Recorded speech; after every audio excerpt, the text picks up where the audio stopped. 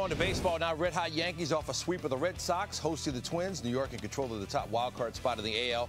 Yankees one through five hitters: Luke Voit, Anthony Rizzo, Aaron Judge, Joey Gallo, and Giancarlo Stanton. That's what we call it with you know all the big boys up top. So um, it'll be pretty fun. So here's how that Yankees one through five lineup stack up against the Jets Super Bowl three starting offensive line. Offensive linemen back then weren't as big as they are now. So those five Yankees might have done pretty well. All right, let's go to the baseball game now. Bottom third, Yankees up 1 0. Two on for Voit. That's going to be good for a double. A run scores, throw to the plate is high.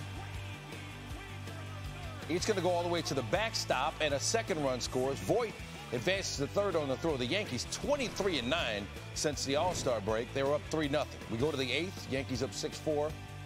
Giancarlo Stanton. That's number 20 for him. 10 seasons with at least 20 for Stanton. Yankees go up 7 4. They win at 7 5. Seven wins in a row for the Yankees. Seven straight decisions for Jameson Taillon. He gave up five hits and three runs in five and a third.